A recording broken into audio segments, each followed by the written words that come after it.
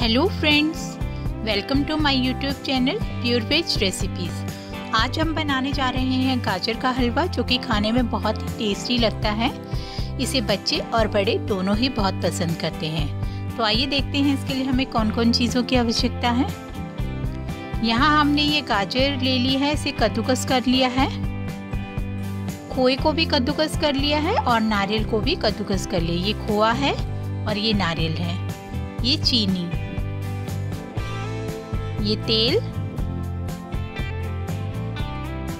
काजू, अखरोट छुआरा चार मगज, किशमिश और बादाम।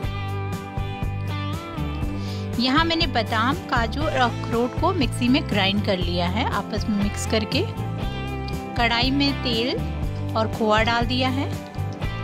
तेल हमारा गर्म हो चुका है। अब हम इसमें गाजर मिक्स कर देते हैं।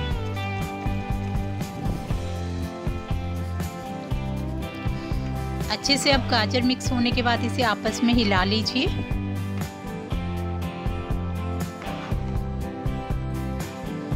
अब गाजर हमारी आधी पक चुकी है। अब हम इसमें नारियल, जो कि कद्दूकस किया था, उसको मिक्स कर देंगे।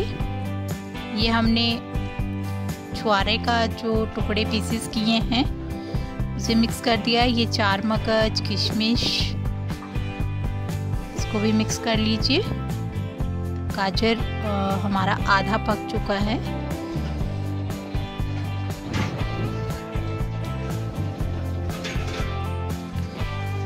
अब हमने ये बादाम, काजू और अखरोट का जो मिक्सचर बनाया था, उसे भी हम मिक्स कर लेते हैं। अब आपस में सबको हलवे के बीच में मिला लीजिए, अच्छे से हिला के।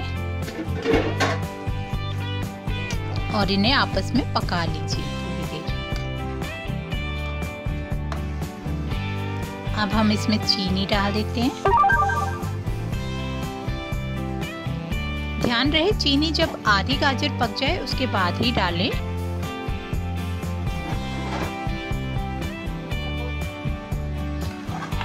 अभी हम गाजर के हलवे को आपस में मिक्स कर लेते हैं। ये तैयार हो चुका है। बहुत ही अट्रैक्ट स्वादिष्ट लग रहा है हमारा गाजर का हलवा।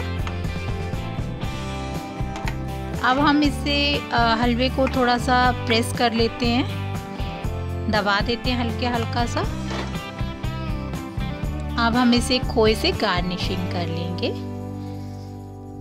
इस तरह से सारा खोआ ऊपर से गार्निश कर लिया है हमने।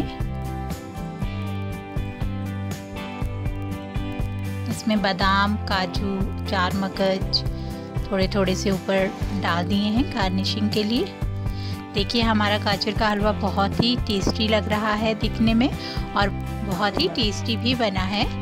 तो फ्रेंड्स अगर आपको मेरी ये रेसिपी अच्छी लगी हो तो मेरे यूट्यूब चैनल को लाइक सब्सक्राइब और शेयर करें।